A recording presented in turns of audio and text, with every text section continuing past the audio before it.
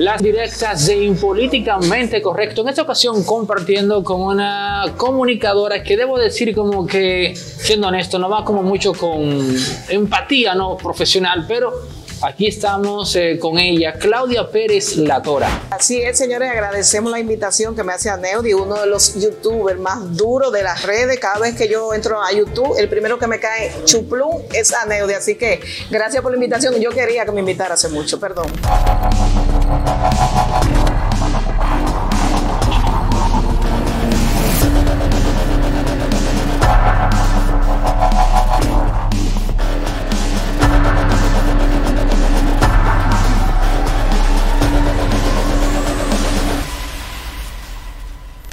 bueno, mira, quizás, quizás no, no, sean necesariamente tus palabras lo que me seduzca a ser, eh, como, como digamos, menos vehemente contigo, sino otras cosas que estoy viendo ahora mismo, pero amén. Mira, eh, en República Dominicana tenemos muchas mujeres en el ámbito haciendo política, pero aún no tenemos, o unas cuantas, pero aún no tenemos una que tenga un perfil estrictamente de candidata presidencial. ¿A qué se debe eso? Se debe a que eh, no nos han dado la oportunidad y porque muchas mujeres se han quedado rezagadas otras se han enganchado, como Margarita Cedeño de Fernández tuvo un objetivo de lograrlo, pero aceptó servirse. de una farandulera, una, eh, una, una, sonidista, se le desmontó ya su campaña porque ella misma dijo algo que, de que había que, que quitar el barrilito y estaba cogiendo el dinero.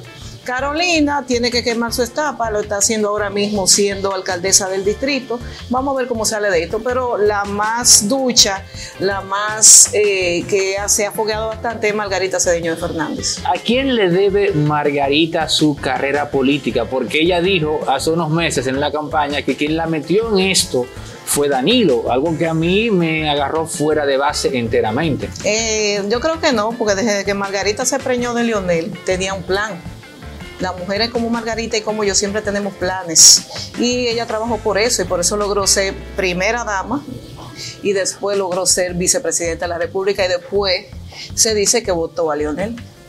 Que votó a Leonel. Sí.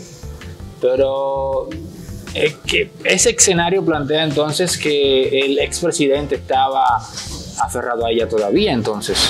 Sí, porque parece que el presidente había como un acuerdo de, antemarital y después político, y por conveniencia política se han mantenido con el de Fernández por una necesidad política, no porque ha habido amor. Y todo el mundo sabe que algún día ellos deberán decir cuál es la realidad de su relación.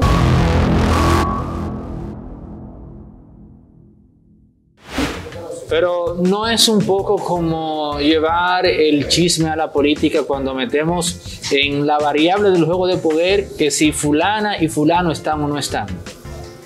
No, hombre, esa es, la, vida, esa es la realidad. Lo que pasa es que la gente aquí vive de la doble moral y de, querer engañar al pueblo dominicano, pero la realidad es esa. en algún momento ellos tendrán que decirlo los dos, decirle la verdad de que ellos no están juntos y de que viven totalmente separados. Y ella aprovechó esa coyuntura, que era secretaria de Leonel, salió embarazada. A Lionel por un, eh, lo estigmatizaban como un... Bueno, no sé qué es eso, pero a mí... lo estigmatizaban como un... En ese entonces, cuando el mismo presidente Hipólito Mejía le voceaba de todo y para poder cubrir la falta, se casa con Margarita, lo obligan a casarse para topar una, una falta que decía el presidente Hipólito Mejía. Mira, dijiste una frase en medio de todo esto que me llevó a hacer esta pregunta. La gente independiente en República Dominicana. ¿De quién depende? ¿De quién depende el independiente, según Claudia Pérez? No, es que ya nos hemos dado cuenta que aquí no hay nadie independiente. Con lo que ha pasado ahora en la campaña de Luis Abinader, nos hemos, dado cuenta que mucha gente quiere ser tú y está en la posición que están los políticos. Y por eso, la participación ciudadana, la gente que se fueron a la Plaza de la Bandera, lo que hicieron fue buscársela, están nombrados todos en el gobierno, entonces no hay tal independiente. Lo que hay es necesidad y cobrar el Estado y tener una, eh, una botella en el Estado. ¿Qué tienes que decir de cara a este gobierno? Sabemos que reaccionaste de manera muy furibunda con el tema de tu hija, pero a este segundo, la relación con el gobierno, ¿cómo está? Bueno, la relación con Luis Abinader ha comenzado a mejorar bastante. Yo tengo muchos amigos en este gobierno y lo que nosotros entendemos que no va a ir mejor que en el PLD porque al final ya la campaña pasó, ya esto pasó, ya ellos están claros, pero hay alguna gente que quieren eh, seguir disponiéndonos y nosotros lo que tenemos es una empresa, nosotros lo que damos es servicio, si nos manda a buscar hasta quien, sea, nosotros le damos el servicio porque es un contrato y una forma de limpiar también los cuartos si hay alguna situación pero que te va a ir mejor con este gobierno que con el PLD, con Danilo Medina. Eso yo no, eso como que no me cabe en la es, porque mucha gente vendió la idea de que nosotros no fue súper bien el gobierno y no fue así. Lo que pasa es que nosotros somos buenos administradores de las cosas públicas o de, o de lo que a mí, eh, lo poco que había llegado.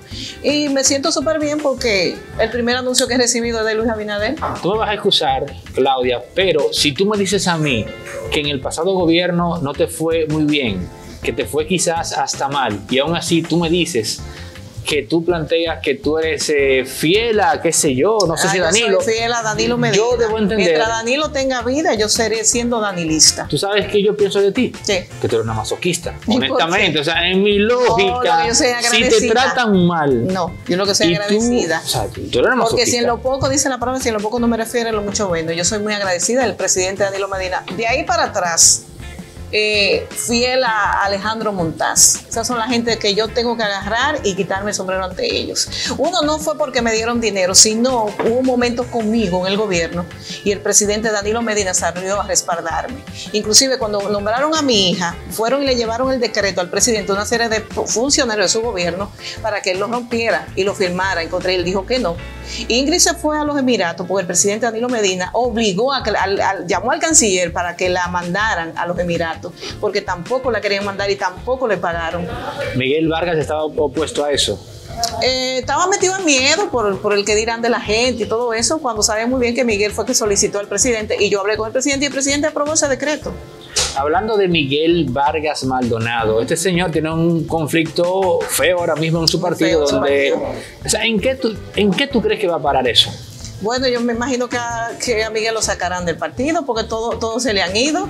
Y, y, Miguel Valga Maldonado debe de entender que él nunca tuvo amigos, que lo que tuvo fueron arribistas y gente que siempre quieren estar en el poder.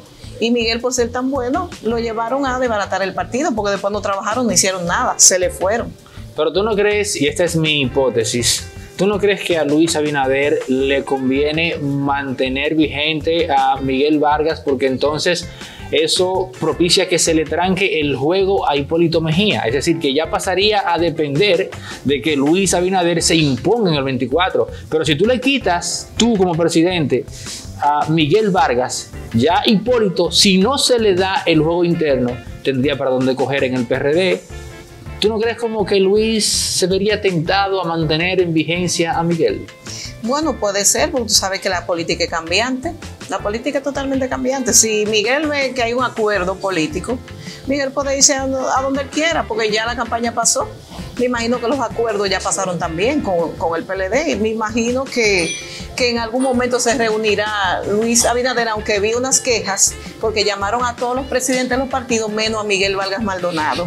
Entonces hay una situación ahí difícil que no sabemos o la idea es seguir eh, drenando al PRD y dejar solo a Miguel Vargas. Sería una teoría que es lo que estoy viendo, porque cuando llamaron a todo el mundo, a la gente del FUPU, a todos los presidentes de los partidos, pero a Miguel no lo llaman. Entonces hay algo que parece que, que va a dejar solo a Miguel en el PRD, que es lo que estoy entendiendo ahora.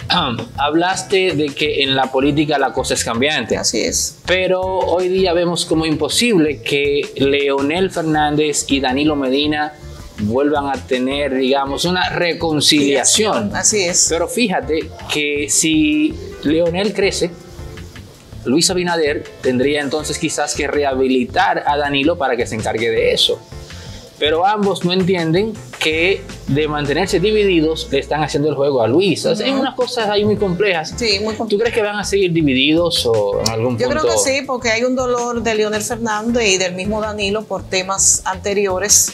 Tú sabes que cuando se hizo el acuerdo de Danilo y, Leonel, se llegó a acuerdo de que iban a poner a Leonel primero y después iba a Temo y después iba a Danilo Medina. ¿Qué pasó? Que Lionel agarró y siguió volado. Entonces hay unos dolores, unos maltratos. Cuando dijo Danilo Medina, me venció el Estado. Y desde ahí vienen esos rencores, que el cual Danilo ahora se lo cobró con quitarle el partido y sacarlo del partido. Entonces, hay cosas muy irreconciliables por, por, un tema ya que ellos lo personalizaron y tienen un dolor cada uno porque son rencoristas los dos. El que le hace una vaina no crees que Danilo es más rencorista que el otro? No, no, Leonel es más rencorista. Que Leonel es más rencorista que Danilo. Tú lo ves frío, calculador, te, te da un abrazo de, de oso, pero es una persona que no perdona. Leonel Fernández no perdona.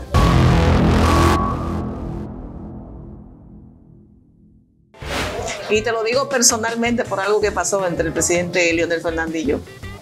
Ah, Está muy dolido. No, eso fue eh, cuando él cumplía. Yo siempre iba a, las visitas de cumpleaños del presidente. Mm. Eh, comenzaron unos chismes y un asunto así, lo sentí en una forma fría, como yo sé cómo piensa él, nunca volví, porque él no perdona. El presidente Leonel Fernández no perdona. Pero tú le hiciste un desaire al presidente Leonel no, no, eh, chisme y cosas que se armaron ahí, entonces yo entendí ya que no, no debía devolver a los cumpleaños del presidente eh, Fernández. Figuras emergentes para el año 2024 sorpresas que nadie espera. Ahí vemos, por ejemplo, a Sergio Carlos que insiste con el tema del partido, lo cual no me parece nada mal. El escenario político necesita urgentemente caras nuevas. Creo que sería una excelente opción. 2024, ¿qué sorpresa podría...? Bueno, hay, dos, hay una sorpresa ahí que está dando las redes sociales, que es el caso de Abel Martínez, para presidente en el 2024. Es la única tabla de salvación que yo veo en el PLD, porque no creo que haya otra persona, que haya otra persona que pueda sustituir a Ver Martínez ahora mismo el PLD, porque el PLD ahora está mucho con el de brazo caído, lamentándose porque perdieron. Entonces están en eso. Y un emergente también es David Collado. Pero David Collado se está dejando comer los caramelos porque lo veo muy, muy perfil bajo lo vemos en otras cosas y no vemos que como que él quiere, él iba muy bien, pero ahora no sé qué está pasando con David. Parece que Luis Abinader le va a comer los caramelos para el 24. Pero parece que Sergio va para el 24. ¿Sergio Carlos? Parece que va. No, hombre. No, no, no, espérate, haz el análisis del lugar, porque un hombre, tú no me estás diciendo nada con eso. No pierdas tu tiempo en eso. ¿Y de qué partido, mijo? ¿De qué partido?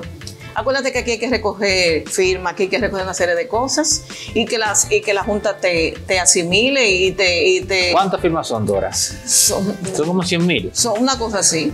Yo creo que, yo creo que lo consigues 100 mil. No, hombre, no se la van a dar, porque acuérdate que esa Junta es de Leonel Fernández esa junta de Leonel Fernández. Y ahí, eh, tú sabes que para Guillermo Moreno conseguir de nuevo que le tuvieran su partido era que fuera solo y que no apoyara el PLD. Y por eso fue que se la, le aprobaron su partido. ¿Tú no sabías eso?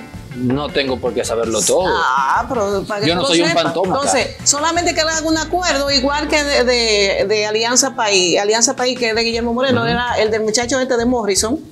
¿Qué hicieron con Morrison? Lo sacrificaron. No, él, le depusieron su país, le, no sé cómo que se llama. Pero es que él, tuvo que ceder después. Morrison tuvo que ceder. Hizo, hizo, su acuerdo y mira dónde está, cobrando su cuarto en el sur, porque todo el mundo aquí es buscarse, su cuarto. Pero Morrison no necesita un sueldo. Señora, hay que quitarnos este, eh, esta máscara que nos venden los políticos cada año. Y a ustedes les gusta caer en eso. Porque yo estoy que esto de sobrevivencia. Yo no sé tú. Pero a mí me va a ir muy bien este gobierno. Margarita dijo que su crush era En el caso de Claudia Pérez, ¿en el escenario político ha habido alguna figura que haya sido el Chayán de Claudia Pérez? No, tú sabes que yo no soy aficionada ni a, ni a peloteros ni a artistas. Yo te dije políticos. Ni a políticos, no sé, no. Eh, pero hay uno que sí, siempre me llamó la atención, que es Gonzalo Castillo. ¿Tuviste un crush con Gonzalo? No, no un crush, sino eh, una, eh, que me gustaría un hombre como él, inteligente, con cuarto, hermoso que vive en Barahona, tú ves. Pues una, una... Sí, yo, yo, lo digo en cada programa que yo voy, yo se lo digo. Toma en cuenta, bueno, vale. Está bien, ok. Mira, entonces tenemos eh, un escenario político donde está Luis por un lado, está Leonel por el otro, ¿Tú no crees, o sea, tú no ves como que esa relación de Leonel Fernández con Luis Abinader, ¿qué tú interpretas que el presidente está llevando con esto? Bueno, tú sabes que Leonel... Hay gente que le dice que, que, está jugando con fuego al presidente. Sí, Luis está jugando con fuego. Lo que pasa es que Leonel Fernández tiene que pagar una deuda que tiene en Funglode. Funglode debe la luz, el otro día tuvieron que mandarle dinero para pagar a los empleados porque no tenía, porque una de las cosas que le hizo Leonel, de Danilo fue estrangularlo económicamente. Entonces, es el dolor que tiene eh, Leonel Fernández. Entonces, él lo que le está haciendo un juego a Luis, donde Luis le está cediendo cosas, pero al final Luis sabe que viene un problema político en el 2024 si Lionel sigue chupándole la gente al PLD.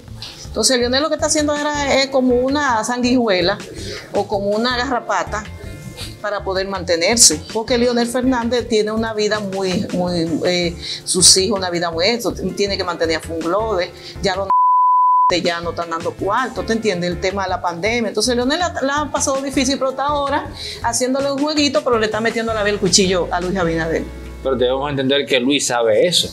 No puede ser tan esperemos, esperemos, que él lo sepa. Esperemos que el presidente Luis lo sepa y que sepa que Lionel se comió el, el Partido Reformista, se comió al PRD y se pretende comer al PLD y se pretende comer a, también a Luis.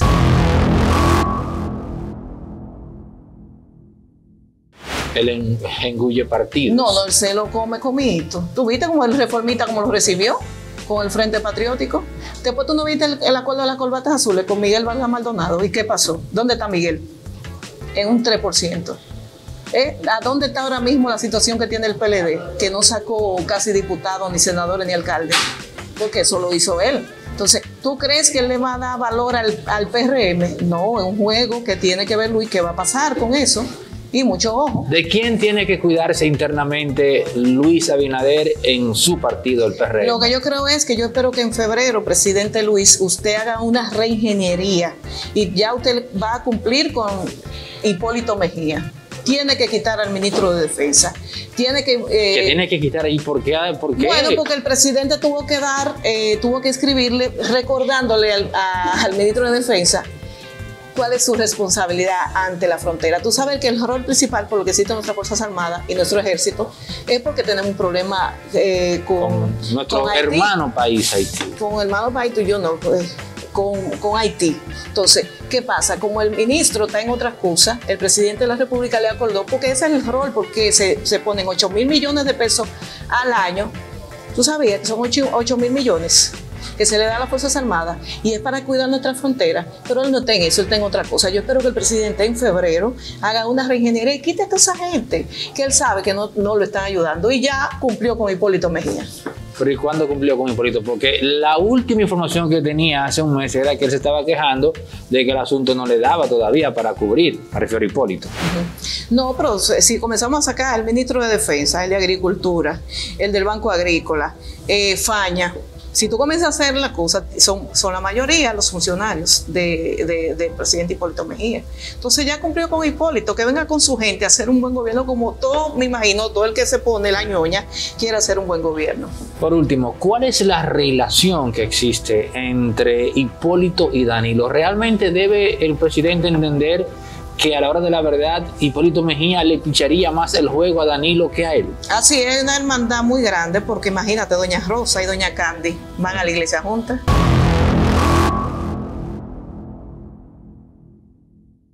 Pero son de generaciones distintas. Pero van a la iglesia juntas. Hay algunos eh, negocios que hizo la familia de Hipólito que, que, que Danilo le aprobó. Entonces hay una relación muy grande. ¿Te entiendes? Una relación muy grande. Entonces, por eso en algún momento Hipólito Mejía que dijo que iba a respaldar la reelección de cuando fueran allá a la Cámara de Diputados, iban a apoyar a Danilo para que volvieran y lo pusieran, eh, lo pudieran eh, de nuevo para que él fuera presidente. Vamos a ver qué tan, qué tan bien informada tú estás. Hablando de Danilo Medina. ¿Qué tú sabes de un asunto que hay ahí, de un grupo económico de Santiago poderoso? Es más, hasta el nombre lo voy a decir, Manuel Estrella. En entendimiento con Francisco Domínguez Brito para hacer una dupla que enfrente al danilismo en el PLD. De cara al candidato que he dicho que podría ser el hijo de Felucho, ¿cómo que se llama? Juan Ariel Jiménez. Juan Ariel Jiménez. No sé si lo sabes. Excelente muchacho, no, no, no Danilo lo tiene en la mira para ser posible candidato presidencial de ese partido en el 24. Bueno. Eso es el danilismo. Ahora, Francisco Domínguez Brito y Abel tienen sus cosas. Sí. Pero Domínguez Brito estaría buscando el apoyo de este grupo económico, de Santiago para poder hacer bueno, yo lo que espero que Danilo no haga un invento con el tema que pasó con, con, Gonzalo, porque este muchacho porque Gonzalo, es brillante. Tú, Gonzalo, según tú, solo servía para hacer el cross tuyo. No, no, Gonzalo, lo que pasó con, con Gonzalo, que a Gonzalo lo traicionaron. ¿Quién traicionó a Gonzalo? Eh, todito el PLD, el PLD lo traicionó. El PLD, entonces yo creo que Danilo no puede meterse a, buscar, a sacar un conejo, porque poner a ese muchacho eh, que es muy bueno, un buen profesional economista, el hijo de Felucho, como sacarlo de un, como de un sombrero. Aquí está el conejo porque fue lo que pasó con Gonzalo, que sacaron un conejo y no lo prepararon. No, fue un penco que sacaron. Eh, o un penco, como tú quieras, sacaron un penco. Entonces, eso fue lo que pasó, que sacaron a ese, eh, lo sacaron como un conejo y ahí lo pusieron. Entonces, Abel Martínez es un hombre que está fogueado, conocido, ha hecho un trabajo, todo el mundo lo quiere. El caso de los estrellas y el acuerdo con Domínguez Brito, tú sabes que los estrellas tienen el caso. Lo que pasa es que todos los gobiernos se han nutrido eh, de, los estrellas. ¿Quién hizo rico a los estrellas? ¿Quién fue? Leonel Fernández. Leonel Fernández. ¿Y, y por qué le reclama Félix Bautista a Estrella? Porque se, no se entendieron en Haití. Su enemistad viene con los problemas de Haití. Exactamente. Entonces, ya tú sabes, eso que el mejor candidato para hacer es Abel Martínez Durán. Si se ponen a inventar, se fue a pique todo. Para que tú lo sepas. En el 24, PLD, PRM, tú entiendes que entonces se puede mantener la división que haría que el PLD no sea un partido fuerte. Bueno, si sigue como va la cosa y no se, todito no se reencuentran y se fortalece, está feo para la foto. Andan perdidos entonces, según tú. Sí, sí, Abel no es el candidato eh, que, se, que se pueden cuidar. Tú sueñas con Abel. Yo creo que tú no, es que, no, es que, no es que yo sueño con Abel, es que los resultados están ahí. Vete a Santiago, pregúntale a la gente de Santiago. Pregúntale. Yo voy con la cámara y ah, Pero vete. Pero, la, última, vez, la última vez que hicimos eso fue la gente de Danilo que me mandaron a San Juan. Y en San Juan nadie dijo y no tengo que, votar por Danilo. Eh, vete, a, vete a Santiago. Vete. Vete a Santiago. Yo te reto. Abel te recibe también. ¿Tú quieres que Abel te reciba? Para que tú veas qué tipo de hombre. Y háblale, tú le puedes preguntar de Odebrecht, de todo lo que tú quieras. Vamos para allá. Señores, eh, esta, digamos, esta entrega de las directas de Impolíticamente Correcto con Claudia Pérez Latora, algunas revelaciones que ustedes acaban de escuchar eh, Claudia, muchas gracias por compartir con nosotros en la plataforma Impolíticamente Correcto. Así agradecer, señores, a este hermoso restaurante, señores, eh, Lazadero Los Argentinos, gracias a don Juan Alberto, señores, que nos, eh, prestó esta locación para hacer este programa. Mira qué belleza. Esos vinos Así ahí que usted sabe, usted quiere disfrutar de la mejor carne, usted tiene que venir aquí. Yo soy enferma con Lazadero Los Argentinos, por eso agradezco la oportunidad que nos dan aquí, señores, en este buen restaurante. Así que venga y buenos precios.